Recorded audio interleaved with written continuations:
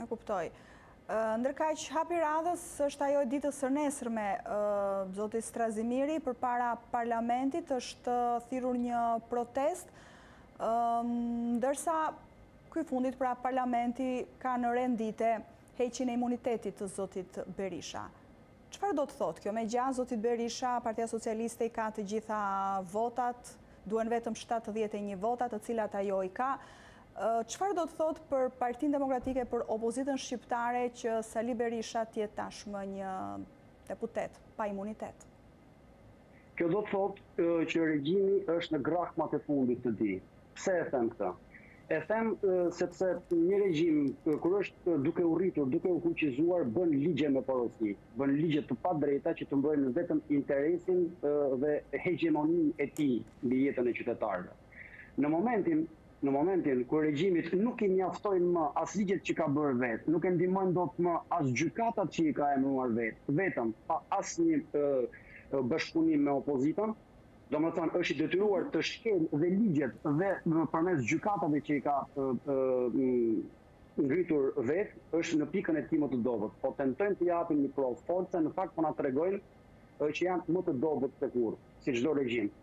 E kam thënë dhe më pëlqen gjithmonë ta përsëris, unë kam parë dhe një regjim tjetër të shembet përpara këtij, deri pesë minuta përpara se të shemben brenda përbrenda vetes, të thërrmohen, duken të fuqishëm, bëjnë të tilla gjeste apo veprime, apo krime, që të tregojnë se kanë fuqi, kjo është shenja që janë më të pafuqishëm. Prandaj i them cilitdo shqiptari që po na dëgjon përmes valëve të televizionit tuaj, o sot, o kurrë. Dita është nesër ora është ora nëntë. Po si do ta luftoni zoti Strazimiri, si do ta luftoni ju këtë regjim sikurse ju e cilësoni? Duket sikur Sali Berishës, opozitës po i mbyllen të gjitha shtigjet.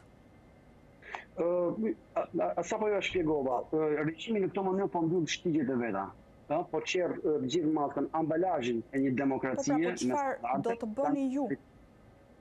Urdhëro? Çfarë do të bëni ju? Pikërisht pra, nuk do të shpikim rrotën. Regjimet rrëzohen, regjimet rrëzohen, liria është instinkt.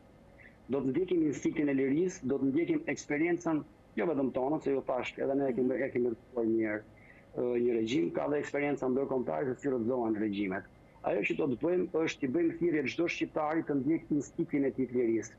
Nuk e kemi më luksin të biem sërish në diktaturë, nuk e kemi më luksin të biem në gjumë, të flemë gjumë, ndërkohë që liria shkatërrohet në këtë mënyrë përpara syve tanë. Ajo që do të bëjmë, do të mbrojmë, do të mbrojmë lirinë me të gjitha mjetet me të cilat mbrohet liria.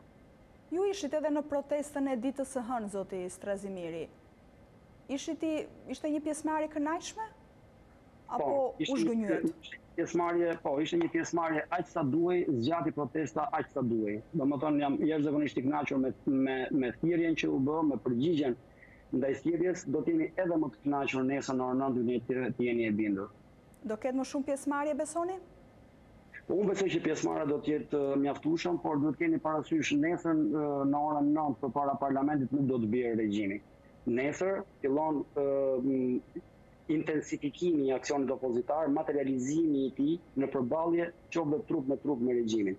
Gjykatat nuk japin më drejtësi, prokuroria nuk kërkon më drejtësi, parlamenti dhe kushtetuta nuk respektojnë, dhe Gjykata Kushtetuese nuk respektojnë më Kushtetutën, flas për gërmën e saj, jo për frymën e saj, nuk kemi asgjë tjetër për të humbur, veçse të dalim dhe ta fitojmë vetë. A keni mjaftueshëm njerëz, zoti Strazimiri, që të imponojeni përmes rrugëve?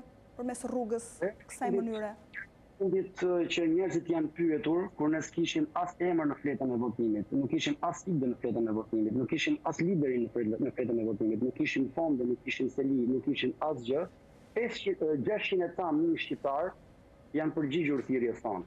Unë besoj që nuk janë pak si fillim.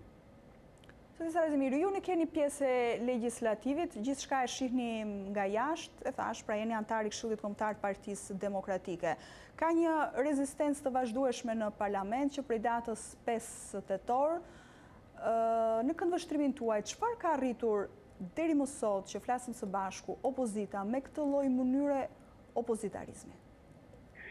Po ka arritur atë që në fakt të them të drejtën, ju jam mirënjohës ju dhe televizionit tuaj sepse aty e dëgjova, ndërkohë që ndodhte mbledhja e Këshillit të Legjislacionit unë isha në protestë me njerëzit dhe nuk mund të dëgjoja ç'thuhej atje. Në darkë në një debat që keni pasur me zotin Bylykbashi të ftuar në studio keni nxjerrë një insert ku nënkryetarja e Parlamentit, Felaj thotë nuk na duhet Në cilësinë e deputetes që duhet të shohë sa prova, sa prova prokuroria i duhet dhënë imuniteti i një deputeti prokurorisë apo jo, ëh, në emër të parlamentit. Po. Në valët e televizionit tuaj kam dëgjuar që ka thënë nuk më intereson nëse ka fakte dhe ka prova, Sali Berishën duhet ta marrin dhe ta izolojnë në shtëpi, sepse po na bën protesta në kuvend. Ky është suksesi më i madh që ka arritur opozita atje për të çjerrë maskën e regjimit, për ta provokuar deri aty që prokuroria të mos mbajë më maskën sikur është e pavarur, që deri tek Gjykata Kushtetuese të mos respektojë Kushtetutën. Dhe së fundmi, besoj që kjo është dhe më elokuentja, nënkryetarja e Kuvendit live përpara qytetarëve ka thënë, nëse qytetari, deputeti quhet Sali Berisha, nuk ka rëndësi nëse ka prova për ta arrestuar apo jo. Nuk ka rëndësi nëse shkelet Kushtetuta për ta arrestuar apo jo. E rëndësishme është që në Parlament ky të mos drejtojë më protesta. Kjo emergjencë në cilën kanë mbërritur, ju e kuptoni,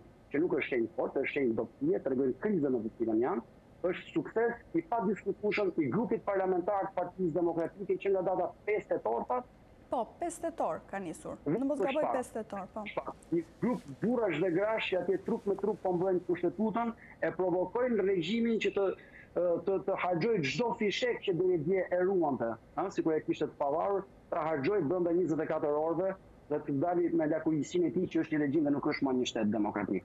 Kjo është shenjë dobësie siç ju thashë dhe nuk është shenjë. Kjo emergjencë që ju e cilësuat të tillë, po mbërrin ashtu siç duhet, po dëgjohet ashtu siç duhet tek në veshët e qytetarëve, por edhe të ndërkombëtarëve? Unë besoj se po. Ndërkombëtarët nuk kanë punë, të them të t'ju them të drejtën, kjo nuk po ju shkelet liria ndërkombëtarëve, po ju shkelet liria qytetarëve.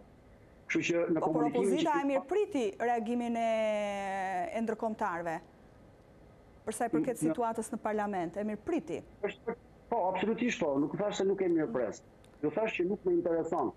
Edhe në qoftë se flasin pro dhe në qoftë se flasin kundër nuk më intereson, nuk po shkelet liria e tyre. Është i mirëpritur çdo mik dhe partner që shikon, gjen kohën të kthejë kokën dhe të shikojë se ç'po ndodh në Shqipëri, sigurisht, por nuk mund ta lëmë në dorën e tyre. Ajo që duhet të bëjmë të gjithë bashkë duhet të kuptojmë, dyzet e gjashtë vjet i kaluam duke parë çfarë thotë ambasada sovjetike, ajo është e drejta. Një pjesë tjetër shikonte dhe priste thoshte shiko se po vijnë, do të zbarkojnë aleatët. Shkuan dyzet e gjashtë vjet dhe as ambasada sovjetike, as aleatët nuk zbarkuan. Në fund fare u çuam dhe e bëmë vetë, kur s'kishte ende ambasada askush nuk as nuk ëndërronte të kishte ambasada në këtë vend dhe të mund të komunikonte me ta. Ndoqëm instinktin e lirisë. Atë do të bëjmë, instinktin e lirisë do të do të ndjekim prapë, populli sigurisht do të na përgjigjet sepse atëherë do të arrijmë konkluzionin që jemi i vetmi popull në botë, e vetmja shoqëri në botë që lirinë nuk e ka instinkt, nuk e ka të nevojshme. Mendoni se kjo do ketë sukses ky aksion zoti Strazimiri do jetë i suksesshëm? Sigurisht, sigurisht. E, e, a e dini pse? E di ku është besimi im, është tek besimi që liria është instinkt, ju thashë edhe një herë. Po. Liria është nuk është negociatë diplomatike.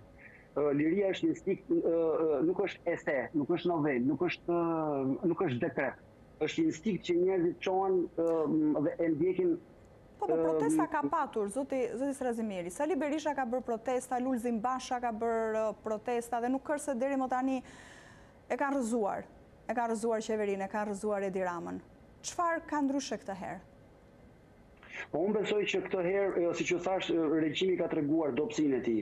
Gjatë këtyre 10 viteve nuk ka qenë kurrë kjo dobësi, përgjithësisht janë përpjekur të ruajnë këtë fasadën ë që qeveria është e ndarë nga gjyqësori, sot i ka djegur të gjithë fishekët zonja Çifiku. Siç ua shpjegova dhe ju, është kushtet, kushtetuta thotë një pesa e deputetëve kanë legjitimitet të pakufizuar ë për të investuar gjykatën kushtetuese, gjykata kushtetuese sot ka thënë jo.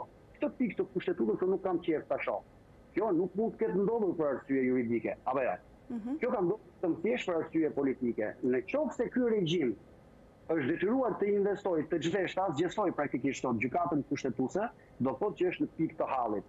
Jemi shumë pranë fitores, ju dhe unë bashkë dhe cilido që na ndjek, sepse në fakt në fakt liria nuk kufizohet vetëm për mua, dhe në qoftë se liria kufizohet për mua, për opozitën e këtij vendi të jeni e bindur që edhe ju do të jeni më pak e lirë nesër.